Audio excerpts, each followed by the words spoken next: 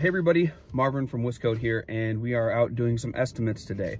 So I really wanted to make a quick video when it comes to estimating, some things that you should probably remember, and maybe some tips to help you out when you're estimating a driveway for, well, we say seal coating, but it's a lot of people use seal coating as a blanket term for um, any patching on driveways, which is usually small patching, um, crack filling, and then actual seal coating itself. So let's just say we're at this point, you've got your call, your call came in or your message on Facebook or an email, and it's the customer wanting you to come out and give them an estimate. Right away, try to make sure that you always get a phone number for contact and the actual address where the uh, estimate is going to take place. So you've got those things. Now you get there, you arrive at your property, you take a look at an evaluation. One of the most common questions I get um, through our social media is how much do I charge a square foot? Now, that varies quite a bit and it varies on wh where you're at in the country. Um, some places material cost is higher and some certain materials are available some aren't. So that changes that range as well. And then how much labor is going to go into it the condition of the pavement really makes a big difference because if it's clean it's new it's nicer pavement you're not going to have as much labor in it you're not going to have as much material as far as cracks filling goes and you're probably not going to have as much material as far as seal coating goes because it's not going to take as much to get in those crevices and things whether you're brooming it or you're brushing it. So the first thing we do is we get out, we take an evaluation of that. If it's going to, in your mind, take more time than it should, or and material, then it should cost more. So our spectrum here, um, and we're a little bit on the higher end as we do have a strong brand here at Wiscoat. We try to be anywhere from, on average, 18 cents to 25 cents a square foot. Now, if it's gonna be a lot dirtier, um, if we're going to use more material, if we're going to use higher grade material, we go up per square foot. So it's not a big thing for us to get to the 35 cents a square foot mark, um, depending on the pavement. And if we're going to brush apply, we actually charge more as well because you're going to be more labor intensive as it goes. So those are kind of the, the first things to remember when you're evaluating this pavement is how, because if, if you have two pavements that are similar, but one is very cracked up, it's very dirty and very rough. If you're charging the same price, if you estimate both those driveways at the same price, uh, the one that's very dirty and cracked up versus the nice and clean one with no cracks, you're gonna be shortchanging yourself on the dirty one. You're gonna be out there and be like, oh, this wasn't worth it.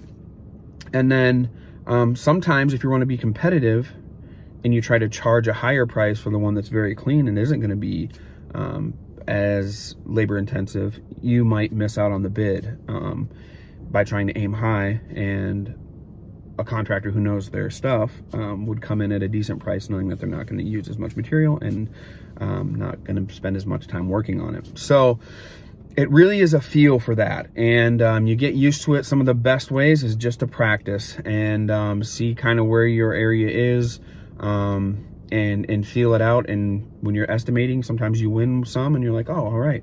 If you're winning almost all your bids you're either a really good salesman or you're coming in too low. Um, and you do want to have a right margin here because anybody can win the cheap bid. The the chances of those companies lasting a long time uh, is very small being the cheapest bid. So that's the first thing. That's the first tip. That's the first thing you want to remember the second thing is actually measuring it itself. Now we're at a property here. I keep looking over at it um, to hopefully jog some of my memory and some reminders. Um, it's rough, but it's also curved and it widens out and has undefined square edges. So when you measure a yard, um, which this video is on Echo Means Business, so I'm guessing a lot of us are lawn care guys here that are in here. It's easy to it's easy to measure the square part of the yard, I guess. Um, and same thing with the driveway. If it's a rectangular or square driveway, really easy to measure. If it's not, if it's curved and has lots of widths, varying widths, that's a little bit harder. So I always like to make a personal visit to the estimates. Um, I don't think I missed any this year. I think they were all in person.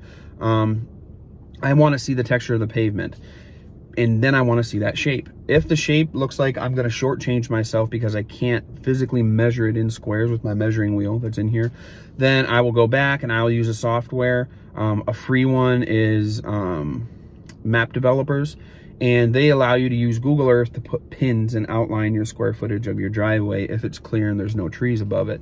Um, I always kind of take that into effect if I'm there, um, what that's going to look like, and if I can do that. And that is probably how I'm going to do this one. um, I may get out and measure it with the measuring wheel.